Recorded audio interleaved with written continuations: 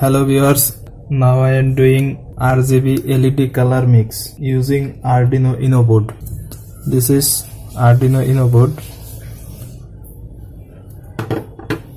and breadboard, project board and one RGB light LED.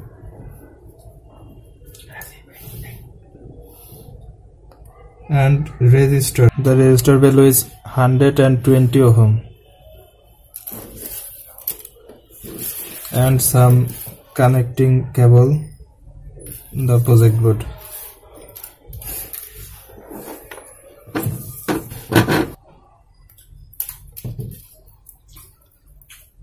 Now connecting the ground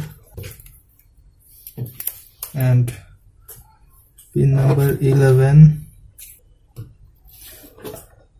connected the red RGB pin number 10 connected green and another pin is connected pin number 9 okay. Then I connect the PC and load the program. Verify complete and upload the program.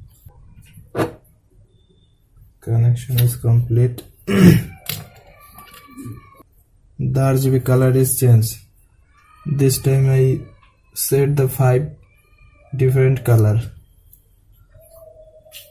and change the RGB